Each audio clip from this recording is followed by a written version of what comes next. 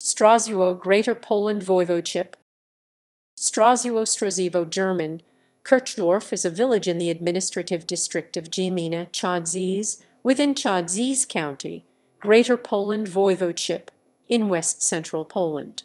It lies approximately 6 kilometres 4 mi south of Chodzież and 60 km 37 mi north of the regional capital Poznań. The village has a population of 329. Equals equals references equals equals equals